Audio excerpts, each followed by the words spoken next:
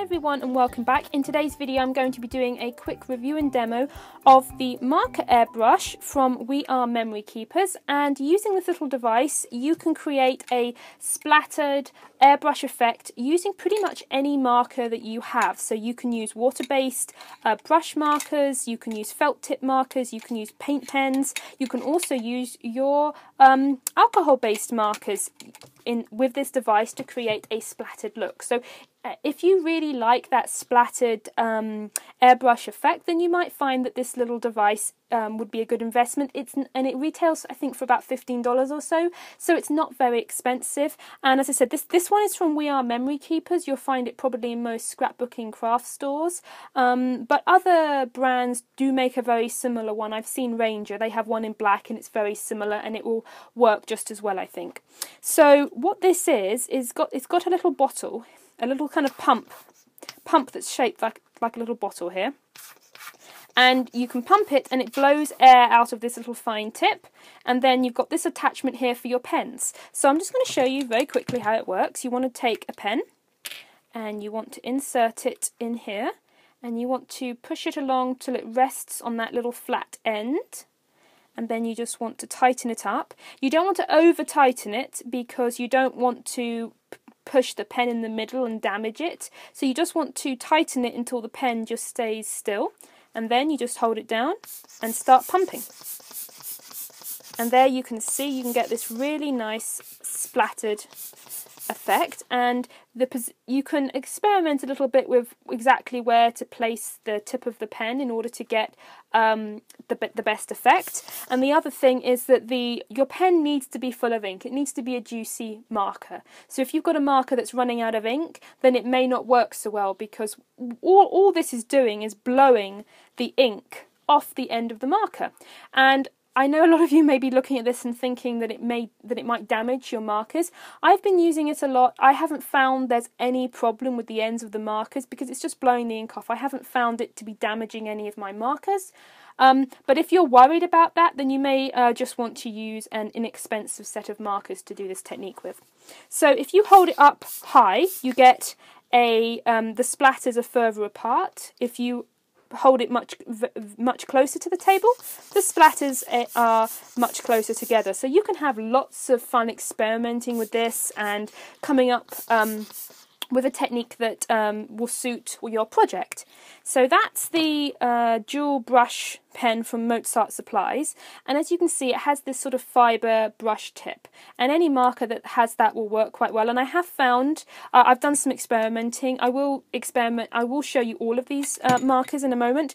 But um, I have found so far that the markers that work the best with this technique for me are the ones that have this juicy uh, brush tip so, th so that's the uh, Mozart Supply one. Now, I don't have any coloured Tombows, but I do have this Tombow blender pen, and I'm just going to show you that it does fit. I'm not going to air I'm not going to airbrush with this colour because this is a colourless blender. There's no colour in it. But if I push it through, you can see that it fits just as well.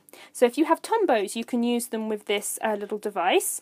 And again, that's the Tombows have a very similar tip. It's a it's a juicy brush tip, so that the Tombos should work very well with this. Another type of pen that um, you might have is a real brush pen. So this is one from Arteza, and as you can see, the bristles are like it's like a it's like a paintbrush. It's the real brush pen. Now this does work. It doesn't work as well as the uh, fiber tip brushes, but you can get a, quite an interesting effect. So I'm just going to push that in and gently rest it on the tip like that, and it may by resting it on the top, it may sort of um, cause the, the bristles to um, flay out a little bit, just to kind of spread out. Um, but that's not a problem because once you take it off, you can smooth them back together again. I haven't found that to be a problem. So I'm just going to use that. Now you can see how fine a mist you get with that. So that is the Mozart brush pen that has a, um, a, a, brush tip, a fibre brush tip, and this is a brush pen that has a real brush tip, and you can see how fine a mist you get with that. So um, experimenting with all the different, if you have one of these, experimenting with all the different markers you have can be um, really beneficial because you can get a, you can get really different effects depending on the tips of your markers.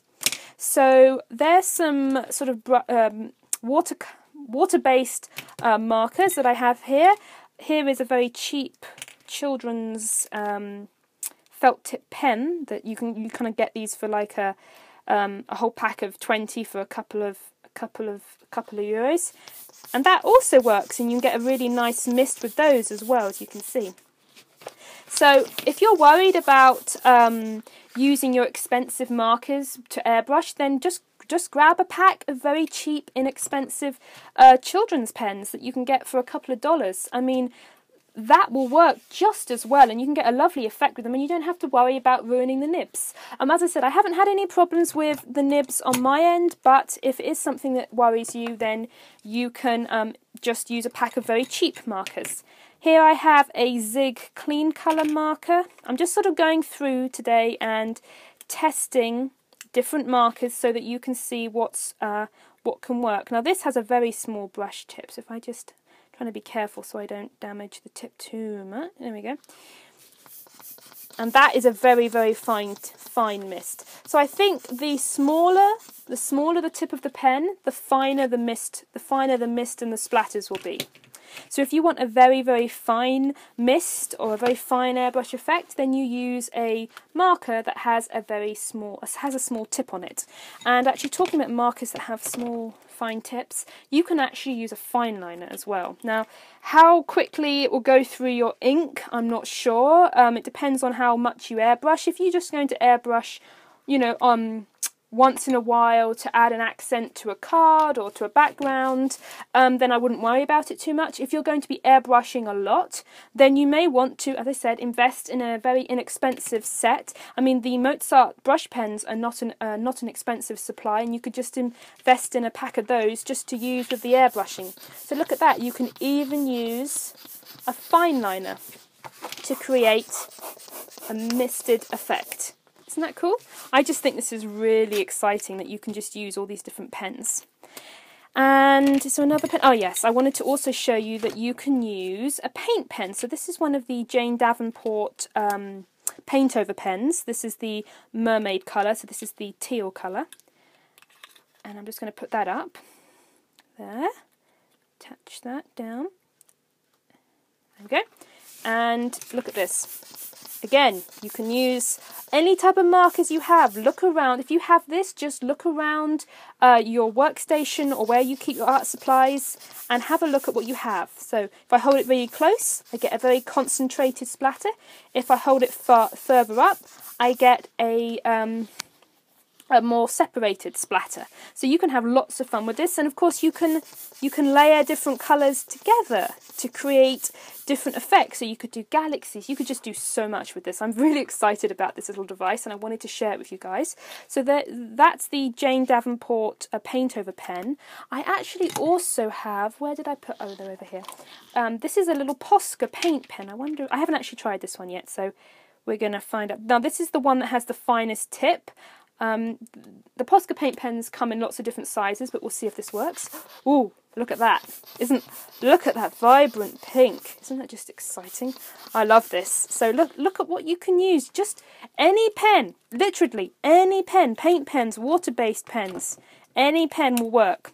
So those are some water-based pens. Let me just grab a new piece of paper. Now, I looked at that small little hole a few days ago, and then I took my Copic marker and I thought, wouldn't it be great if I could use my Copic markers? But look, they don't fit. Neither do the Promarkers. So I wasn't, I wasn't disappointed because these effects are really cool, but then I came across a video online and I wasn't searching for it, it just sort of showed up in my recommended feed box. It was almost like magic, and it was from, it was an old video, uh, when I mean old, it was a few years old, uh, it was from the Frugal Crafters, a YouTube channel, and she was showing how you could take out this little section, put the little screw back in, and, and you make that little hole much bigger. And look, ooh, ooh, this can now fit. So I was so excited when I saw that. So I'm going to use the chisel end of my Copic marker. I'm going to insert it in here. And I'm just going to screw the screw back in a bit just to tighten it up. And we now have a marker airbrush with the Copic markers. And now Copic does sell a whole airbrushing system but if you wanted something that was inexpensive less than $20 um, just to do a little bit of an, a, a splattery airbrushy effect then you could give this a go. And look at that and this is with the chisel end. You could also um, use it with the brush end. And if I maybe if I can can I turn it round perhaps? And because the chisel end is um, like a little rectangle, so if I just twist it around a little bit, can I get it to stay? Let me see. Yeah, you can. You can use it. Oh, you get actually you get a completely different look. So this that that splatter there. If you hope I hope you can see that, but that splatter there was with the Copic marker lying flat, and then with the Copic marker horizontal, you get a much sort of finer mist. Look at that, it, it's, it reminds me exactly like an airbrush. Isn't that cool? So that, so that you, you can use that with your Copic marker. And it, it's not damaging the marker. I can't see any damage on the nib. Uh, let's try the Winsor & Newton uh, brush marker here. So just put that in and I'm using this on the brush end. Whoa, nice big splatters with that one. Look at that. So you can see how much of a difference the, the, the nib the, the nib that you, you splatter from. So this is using a big brush nib. Look at that. You get a much um, the splatters are much larger. This was with the chisel nib. Look how gentle and subtle that is. So maybe if I just take out this, put the lid back on, and I turn this around, let me just try this end. Let me try the chisel end of the brush marker.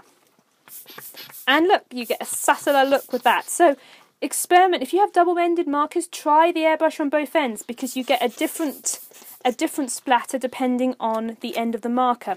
Now, if you have any of the other brands of markers, um, any of the less expensive brands, uh, the uh, Ohuhu markers and things, this I'm pretty sure those will work. I don't have those to test, but this is this is pretty big that gap and I'm, I should think that most markers will fit through. That's the marker airbrush from We R Memory Keepers. Um, one other thing I want to mention here is that the inside there and particularly this little end here can get quite uh, dirty from all the marker tips. So um, what I would do after using it or in between colours is to clean that off. So use some rubbing alcohol if you're using alcohol based markers or use um, a wet a wet, a wet cloth or a baby wipe if you're using water-based markers and just wipe that off in between colours because you wouldn't want to be doing a lot of blue let's say and then put in a yellow marker and cross-contaminate the colours and then get the blue all over the, your marker tip. So um, you want to just keep that end tidy. But I think I think this is a great little device and I was so excited when I found that I could use my uh, larger markers in it by just taking out that little connection. And you can just you can use any marker you have. And i think that's i think when you when you ha- when you work in different supplies i have quite a few different uh, brands of markers that i like to work in and use for different purposes. If i can purchase a small device and this is for under $20 if i can purchase something small that can be used that i can use with all my different brands then i think that's a really good investment and i really like the airbrushing splatter effect. So for me it's very useful and um, hopefully this video can help you decide if this is something that uh, you you might may want to invest in or not. So one thing i just want to quickly address is a concern that i know some of you may have and that is using your very expensive markers markers with the airbrush. Now I've been using this marker with the airbrush and I can see no sign of discoloration on the tips. I can see no sign of any damage or any wear to the marker or any um, any negative side effects in other words. But that said I don't use the air the marker airbrush all the time. I'm just using this occasionally for special effects. So I think um, what I would do if I was going to be doing a project where I was going to be using a lot of airbrushing I think I would invest in a very cheap set of markers and uh, just use them for the airbrushing. You can get a load of different techniques uh, and variations depending on how big the tip of the marker is, the smaller the tip, the finer the mist will be. So with a very, very fine tip, very fine mist, with a, with a larger brush tip, you get a much larger splatter. And it also makes a difference uh, depending on how close you hold the airbrush to the paper. If you hold it very close, the um, ink splatters will be very concentrated, very close together. If you hold it further up, you'll get the splatter um, over a much wider area and be, the splatters will be further apart. So anyway, um, that's all I have to say for today. I was very excited to pick up this little tool and I hope you found this review helpful. If you have any questions, make sure you leave them down in the comments below and I will see you guys again next time.